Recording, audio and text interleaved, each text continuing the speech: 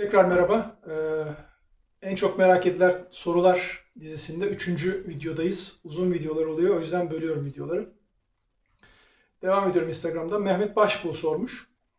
Bağlama, kopuz, oğur sazı ve gitar çeşitleri yapımı hakkında detaylı bir yazılı kaynak var mıdır? Gitar hakkında eğer İngilizceniz varsa kıyamet gibi kaynak var. Diğerleri hakkında yok. Ee, bağlama yapımı ile ilgili sadece işte Cafer Açı'nın bilinen bir eski bir kitabı vardır. Yeni bir şey var mı bilmiyorum e, açıkçası. Ayrıca siz böyle bir kaynak yapmayı düşünür müsünüz? Ee, bir buçuk sene önce bir e, bel fıtığı ameliyatı sonrası evde yatarken böyle bir 20 sayfa yazmıştım. O da şu olmuştu. Hatta bir video yapacağım. Erwin Somoji diye bir adamın, e, Amerikalı bir gitar yapımcısının e, git, kitabını okumuştum. İki ciltlik bir kitabı vardır onun. The Responsive Guitar ve The Making the Responsive Guitar diye e, şöyle söyleyeyim. O kitabı okuduğumda kendimi hep hala öyle kaba marangoz olarak hissediyorum. Adam o kadar temiz, titiz, hassas çalışan bir adam ki yani gerçekten hayranlık duymamak mümkün değil. O ara bir biraz böyle onun gazına gelip e, yanlış hatırlamıyorsam bir içindekiler falan 15-20 sayfa almıştım ama kaldı. E, öyle bir hayalim var yani hani bağlama yapımı ile ilgili bir kitap yazmak ama e, yazmaya başlayınca çok kolay bir iş olmadığını görüyorsunuz gerçekten. Hani bir şeyi anlatmak, yazarak anlatmak çok kolay değil. Bir de tabii onu resimlerle falan desteklemek lazım. Yani öyle şey bir kitap olamaz o. Ben yetkili değilim gibi bir düşünceniz varsa bile sizin doğrularınızın yer alacağı bir kaynak oluşturmak bence geleceğe nefis bir hediye olur. E, yapmak isterim yani inşallah öyle bir becerebilirsem güzel olur. hmd.aslani yazmış. İran Azerbaycan'dan yazmış. Merhaba hocam, emeğinize ve yüreğinize sağlık. Hocam mesela bir 42 tekne kısa saplı eşik yüksekliği en çok kaç milimetre olmalı ve bunun standart boyu var mı? Ortalama vereyim yine 4,5 ile 5,5 milimetre arası yapılıyor. Şimdi e, bazı ustalar, e, mesela bizim burada Ümit Çiçekçioğlu ve Kemal Öreroğlu gibi ustalar eşiği düşük yapma taraftarı. Çünkü onlar dörtte bire koyuyorlar. Yani şöyle göstereyim. Eşik 5'te 1'de şurada duruyorsa 4, burada da 4'te 1'de burada duruyor. Eşiğin öne gelmesi demek sazda kapağın en geniş bölgesi. Dolayısıyla buraya göre daha az dirençli olan bir bölgesine gelmesi anlamına geliyor. O yüzden buradaki e, baskıyı azaltmak istiyorlar. Yüksek eşikteki e, baskı daha fazla. O yüzden öne aldıkları için e, şeyi çok parlıyor galiba. eşiği 4,5 mm civarlarına çekiyorlar. Yani hatta yanlış söylemiş olmayayım onlar adına 4-2 yani 4 ile 4,5 arasında çektiklerini biliyorum. E, beş buçuğun üstüne çıktığında e, tabii şey oluyor yüksek ama kopuzlarda ben öyle yapıyorum onu söyleyeyim. Ama bağlama için e, herhalde maksimum beş buçuk demek lazım. E, ortalamalar söylüyoruz. Ve buna benzer bağlamanın boğazında son perde tellerin en çok yüksekliği kaç milimetre olmalı? Onu bir önceki videoda ya da ilk videoda hatırlamıyorum söylemiştim. E, maksimum 3 galiba. E, bugün kendi sazımda ölçtüm. Benim sazımın telleri biraz yüksek. Ee, hani 2,5 milimetre, 3 milimetre arası herhalde iyi. Ba, ba, ba 7 Uhan. Ee, bağlamada belli perdeler cızır sorunu ve çözümü. Onu ilk videoda söyledim. 4 telli 4 mevsim. Hocam selamlar. Tekne boyuna göre standart olmayan sap uzunluklarında eşik yeri, perde ayarları nasıl yapıyorsunuz? Bir video çektim onunla ilgili. Hatta e, YouTube'daki 5000 adam aboneyi kutlama videolarından bir tanesiydi o. Bay Efece, bir röportajınızda artık okumadığınızı söylüyorsunuz. Peki yazıyor musunuz Sayın Hocam? Benim merak ettiğim buydu. Tabii bu farklı bir konu. Ee, epeyce bir süredir evet yani yazılar ve kelimelerle ilgili benim bazı düşüncelerim var. O bu videoda şimdi uzun uzadıya ona girmeyeyim. Ee, bazen yazıyoruz yani bir de tabii görevimiz gereği de yazıyoruz akademisyenlikle ilgili olarak bazı makaleler yazıyoruz. Son dönem bir de e, el aletleriyle ilgili bir e, kitap sebebiyle bir yazı teklifi aldım. Oyma keseri ve ustalık, zanaatkarlık ilişkisiyle ilgili bir şeyler yazmaya çalışıyorum bu ara. 2.718281 yazmış. Merhabalar hocam. Bağlamada damar yapıları ve genişlikleri homojen olmayan kapaklarda yarım kapak kullanımı da oluyor. Yani genişten dara doğru seyreden damarları olan bir kapak ikiye bölünüyor. Başka geniş damarlara sahip bir kapağın yarısıyla yapıştırılıyor. Bu şeyi ben duydum. Ee, yani bağlamada damar yapısının farklı olması. İşte yukarıda geniş, aşağıda daha sık damarlar diye. Bunu ben anlayabilmiş değilim. Niye böyle özellikle bir şey gerekiyor? Yani üst taraflar işte geniş damarlı olacak, bas ses verecek, alt taraf e, bilmiyorum hani bir, bunun bir mantığı varsa birinden duymayı çok isterim. Ama bunu özellikle böyle kapağı keserek yapmak bana mantıklı gelmiyor. Aksine kapaktaki damarların homojen dağılımı daha e, iyi bir şeydir. E, ama bir, bir miktar, yani bunda da şey değilim hani böyle çok e, illa ki hepsi böyle mükemmel olacak filan noktasında değilim ama e, şey de olmaması lazım. Bazı sazlarda görüyorum üst tarafta damarlar bu kadar açılıyor yani artık e, 65 derecenin neredeyse yataya dönüyor. Bu da iyi bir şey değil. Bu şekilde bağlamaya oturuyor. Yani sapın birleşim noktasından alt eşiğe kadar uzanan bir ek yeri oluşturuyor. Bu konu hakkında ne söylersiniz? Kapak oturtulurken esnekliği, ha, bu başka bir soruya geç. Yani şimdi e, ek kapak yapılabilir mi? İşte gitarda şunda bunda yapılıyor. Bir kere şunu söyleyeyim. E, tutkal ağaçtan daha sağlamdır. Yani e, genellikle öyle bir yanlış anlama oluyor. Özellikle bir malzemeyi e, damar yönü yan yana gelecek şekilde yapıştırırsanız, yani nasıl göstereyim? Ben bu tahtaları şöyle yapıştırırsam buradaki tut, tutkal bağlantısı, bu bağlantısı ağacın kendisinden daha kuvvetli olur. Yani bunu kırmaya kalktığımda ağaç kırılır, tutkal salmaz. Hangi tutkal için bu? Tight mont için de bizim boncuk de geçerli. Şu tip bir yapıştırma ikinci şeydedir, e, güçtedir. Yani bu ağaçtan daha güçlüdür diyemeyiz. Burada bunu kırmak mümkündür ama yine ağacı belli ölçüde söker yani iyi yapıştırıldıysa. Şu tip bir yapıştırma en berbat yapıştırma da tutmaz zaten bu. Yani çok zayıf olur. Şimdi o yüzden hani bu yapıştırma meselesinden evet olabilir. Ee, hani gitarlarda falan yapılıyor. Fakat bağlama kapakları çok geniş kapaklar olmadığı için gene buna gene, genellikle buna ihtiyaç duyulmaz.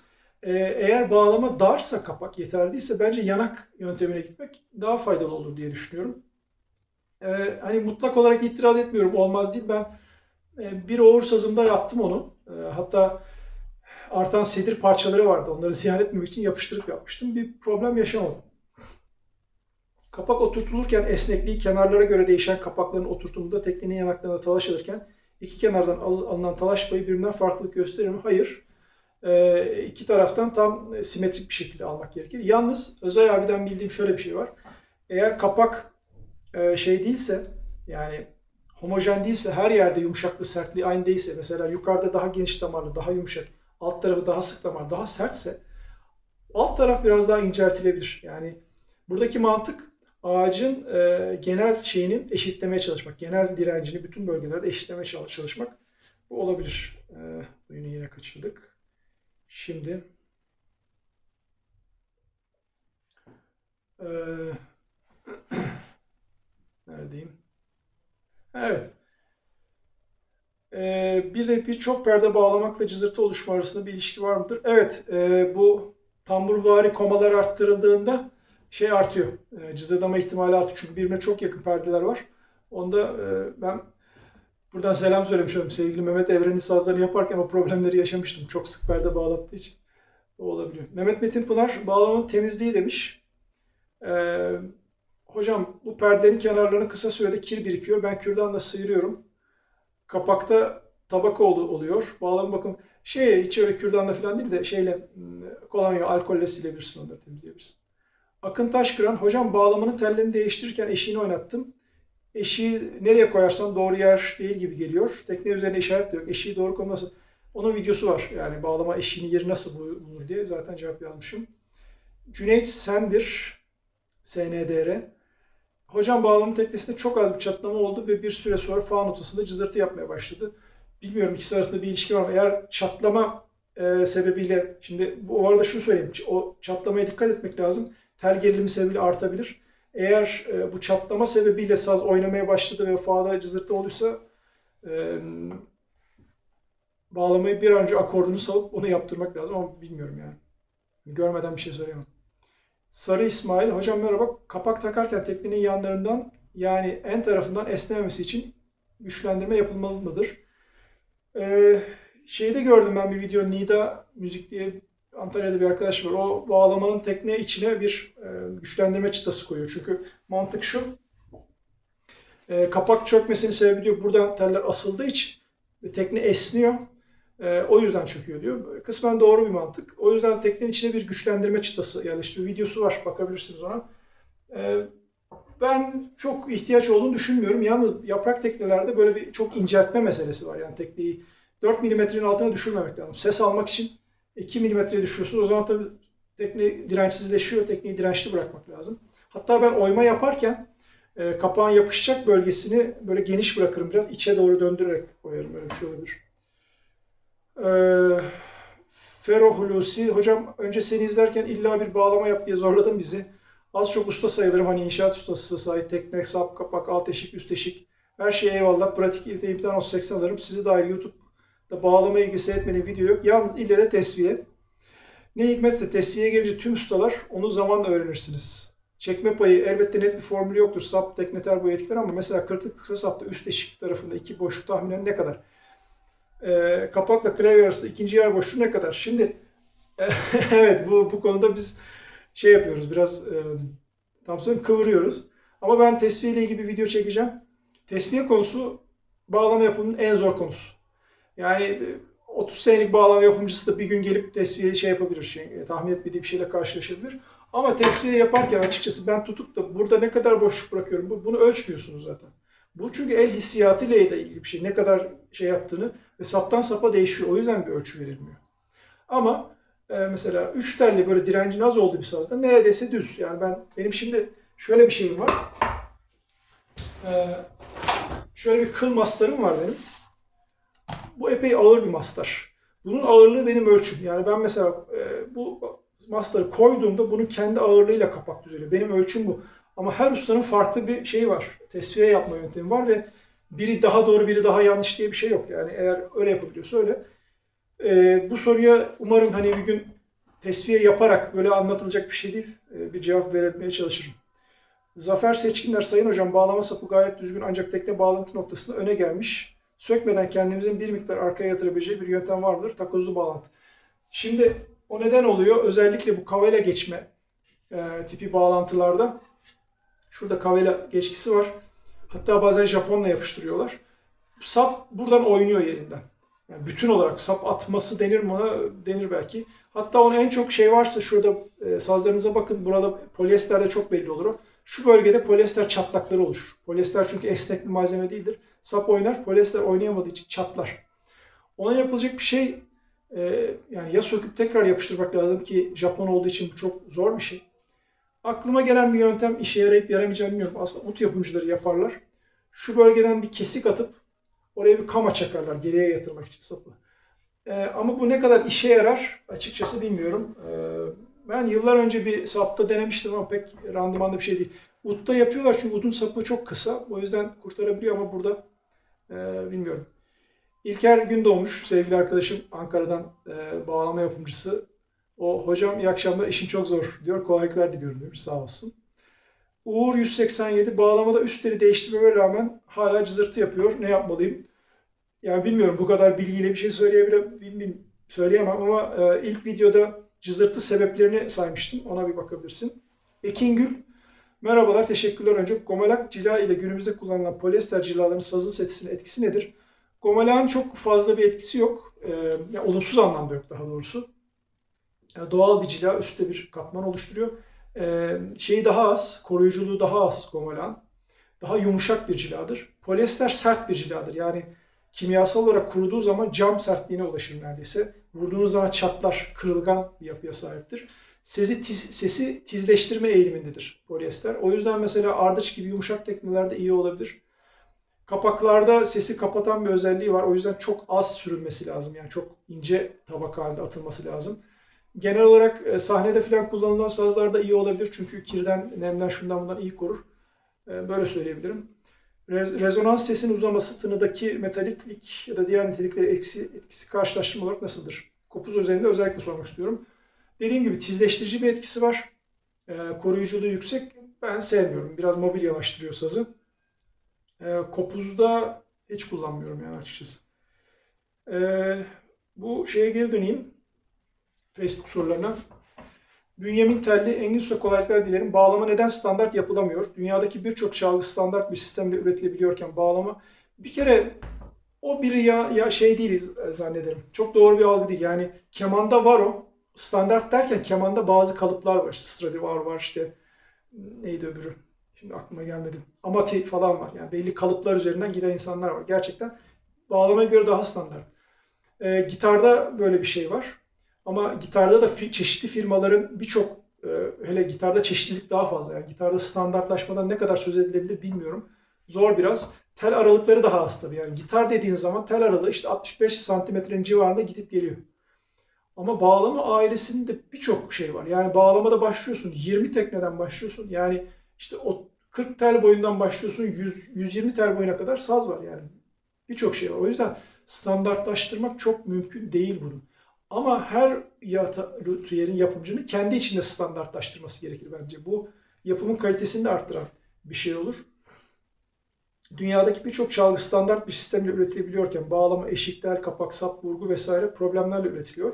Üstelik tamamen ustanın bilgi birikimi ve becerisine kalmış bir durum. Yöresel farklılıklar ve koma kullanımı hepimiz biliyoruz fakat ölçü olarak standart bir bağlama yok. Bu olması gerekli mi onu da bilmiyorum ama şöyle bir mesele var bakın. Ee, 300 yıl önce keman yapımı ile ilgili birçok mesele halledilmiş. Bir bilgi birikim var. Gitar yapımı ile ilgili. YouTube'a girin. Keman yapımı, gitar yapımı. Biraz İngilizceniz varsa. Kıyamet gibi bilgi var. Her alanda gelişme sağlamak ancak bilgi birikimiyle olur. Bizdeki ustalar, 40-50 yıllardaki ustalar falan herkes atölyesinin bir tarafına perde çekmiş aman kimse görmesin diye. O yüzden neyi nasıl yaptıklarını bilmiyoruz. Halbuki bilgi birikimle olabilir, aktararak olabilir. Yani sen bir şey söylersin, onun üstüne bir başkası bir şey koyar, onun üstüne bir başkası bir şey koyar. Bağlama yapımcılığı işte son 20 yıldır belki neredeyse. 80'lerden sonra değişti. 90'lardan sonra değişti. Son 10 yıldır birazcık daha işte böyle herkes bir şeyler söylemeye başladı. E, iletişim artmasıyla. Bu bilgi birikim olması lazım. Bir. iki e, belli bilimsel şekilde çalışmalar yapılması lazım. Mesela Emir Değirmenli diye bir ut yapımcısı ustamız var. Bu Cialdini e, şeylerle ilgili olarak UT'ta birçok çalışma yaptı ya da Faruk Türünüz'ün yaptığı şeyler var mesela. UT yapımcıları bu konuda daha şey iyi çalışıyor ama şunu da söyleyeyim bağlamayı e, talep eden kitle de etkili bunda. Yani e, bağlamaya bir fiyat söylediğiniz zaman ya ne olacak 250 lira bağlama var dendiği zaman böyle bir gelişme, standartlaşma gösteremezsiniz. O yüzden e, müşteri kitlesiyle de ilgili bir mesele bu. E, standartlaşma belli ölçüde mesela ortalaması var yine bu işin. Oluştu bence işte 40 tekne 42 tekne. Bu da çok problemli. Bence tekne üzerinden şey yapılmaz ama hani bilmiyorum bir cevap oldu mu sadece düşüncelerimi aktardım size ama. Yıldırım yıldırım bağlamada polyester işi nasıl yapıyorsunuz? Yapmıyorum. Ee, Emin Ümit selamlar. Sap ve kapak tesviyeyi nasıl ve ne kadar açılarla yapıyorsunuz? Evet. Bir de tekne boyuna göre sap boyunu neye göre hesaplıyorsunuz? Ee, bu sap boyu hesaplama şeyi var. Lütfen ona bakın e, sapla ilgili videoya. Tesviye meselesinden de bahsetmiştim. Hüseyin Soylu, Engin Bey merhaba polyester yerine ne kullanıyorsunuz? Markası nedir? Polisaj gerektiriyor mu? Söyledim selülozik dolgu. Selülozik dolgu ve spreyde polisaj gerekmiyor. Ben zaten mat tercih ediyorum açıkçası. E, dolgu verniğinden sonra bir zımpara gerekiyor. E, 220 kum ya da 320 kumla bir zımpara temizlik yapmak lazım. Sonra son katta e, kuruma tamamlandıktan sonra e, yüzey temizliği gerekiyor biraz. Fırat Yıldırım sormuş. Dede sazı gibi sazlarda 19'dan ya da 23'ten daha az sayıda 11, 12, 13 gibi perdeler bağlanıyor. Anladığım kadarıyla perde yeri hesaplama 19-23 gibi yapılıyor. İstenmeyen perdelerin notası bağlanmıyor. Birinci sorun bu varsayım doğru mudur? Doğru. Şöyle aslında mesela e, çalınan yöredeki repertuar neyse adam ona göre perde bağlamış. İşte Aşık Veysel ya da işte bu Cüreşalar. Mesela Ramazan Güngör'ün 10 tane perdesi var. Çünkü 10 perde ona yetiyor yani kullandığı repertuar zaten şunu söyleyeyim bağlamadaki perde sayısının artması Cumhuriyet sonrası. Benim e, Musiki İnkılabı ile Toplum İnşası diye bir makalem var. E, internette ulaşılabilir durumda ona bakın. Bu perde sayısının arttırılması yani bağlamadaki 23 perde her hepsinin koma bağlanması falan e, koro kullan şey kurulmasıyla yani çoklu bir arada toplu çalımlarla işte Muzaffer Sarı Sözen'den sonra falan başlıyor. Yani onun öncesinde bağlamalarda o kadar perde yok. Tamburda bile Cemil Bey'in tamburuna bakın o kadar fazla koma ses falan görmezsiniz.